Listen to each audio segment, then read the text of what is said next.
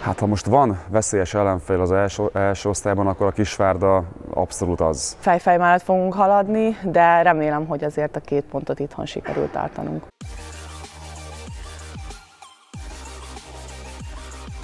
Nem tudtunk méltó ellenfél lenni a Ferencvárosnak, sajnos elég gyengén kézzelabdáztunk, és ennek lett eredmény az ilyen súlyos vereség, de túl vagyunk rajta, senki nem sérült meg, úgyhogy készülünk a következő összecsapásokra, amiket már meg kell, hogy nyerjünk, és jobb játékot kell játszanunk. Úgy gondolom, hogy az első fél első felében jól teljesítettünk, fejfej mellett haladtunk, aztán jöttek a megszokott hibáink sajnos, és elhúzott a Ferencváros. Úgy gondolom, hogy nem ez az a két mérkőzés, ahol nekünk meg kell mutatni az igazi arcunkat, ugyanakkor nyilvánvalóan küzdenünk kell és kiadni magunkból a maximumot. Én úgy gondolom, hogy ezt a csapat megtette. Az eredmény nem feltétlenül tükrözi, de előre kell tekintenünk, és a következő mérkőzésekre kell koncentrálnunk. Hát ha most van veszélyes ellenfél az első, első osztályban, akkor a Kisvárda abszolút az edzőváltáson estek át, egyébként egy jó szerkezetű és jó képességű játékosabból álló társaság. Kötetlenebben játszhatnak, ez a legjobb kifejezés talán rá, éppen ezért veszélyesek, tehát nagyon komolyan kell vennünk minden egyes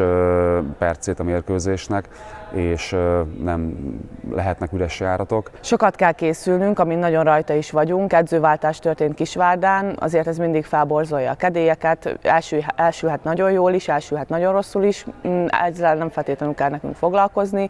Mi csináljuk a saját dolgunkat, készülünk belőlük, nyilván vannak felvételek a játékukról, abból próbálunk felkészülni, és úgy gondolom, hogy nem érhet minket megrepetés. A rögtönzésekre is készen kell állnunk, illetve az intuitív játékra, úgyhogy mindenre igyekszünk felkészülni, és szeretnénk itthon győzni, és a tabellán pedig lépegetni előre, hiszen mi hisszük, hogy a, a középmezőny elején van a helyünk, és ehhez a Kisvárdát itthon muszáj lesz legyőznünk. Hasonló szintű játékosaik vannak, jól kiegészítik egymást, jó a csapatjátékuk, jó kapusuk van, úgyhogy összességében minden egyénből fel kell készülnünk, és a csapatjátékukra kell koncentrálnunk, és úgy gondolom, hogy ha erre felkészülünk, akkor nagy probléma nem lehet.